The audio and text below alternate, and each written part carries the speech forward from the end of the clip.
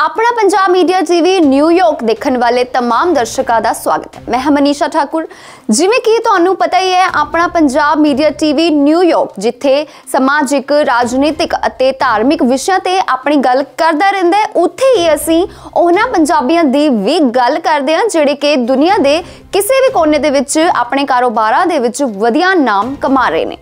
ਅਤੇ ਇੱਕ ਕਾਮਯਾਬ ਬਿਜ਼ਨਸਮੈਨ ਵਜੋਂ ਜਾਣੇ ਜਾਂਦੇ ਨੇ। ਅੱਜ ਅਸੀਂ ਇੱਥੇ ਗੱਲ ਕਰ ਰਹੇ ਹਾਂ ਪੰਜਾਬ ਦੇ ਟਾਂਡਾ ਇਲਾਕੇ ਦੇ ਨਾਲ ਸੰਬੰਧਿਤ ਦਸੂਆ ਪਰਿਵਾਰ ਦੀ, ਜਿਨ੍ਹਾਂ ਨੇ ਨਿਊਯਾਰਕ ਦੇ ਬ੍ਰੋਂਸ ਇਲਾਕੇ ਦੇ ਵਿੱਚ ਬਿਲਡਿੰਗ ਮਟੀਰੀਅਲ ਅਤੇ ਕੰਸਟਰਕਸ਼ਨ ਦੇ ਕਾਰੋਬਾਰ ਦੇ ਵਿੱਚ ਬਹੁਤ ਵਧੀਆ ਨਾਮ ਕਮਾਇਆ। ਅੱਜ ਅਸੀਂ ਇੱਥੇ ਗੱਲ ਕਰਦੇ ਹਾਂ ਉਹਨਾਂ ਦੇ ਇੱਕ ਸਟੋਰ ਨੈਸ਼ਨਲ ਸਪਲਾਈਜ਼ ਕਾਰਪੋਰੇਸ਼ਨ ਦੀ, ਜੋ ਕਿ ਸਾਰੇ ਨਿਊਯਾਰਕ ਅਤੇ ਟ੍ਰਾਈ ਸਟੇਟ ਏਰੀਆ 'ਚ ਸਪਲਾਈ ਕਰਦੇ ਨੇ।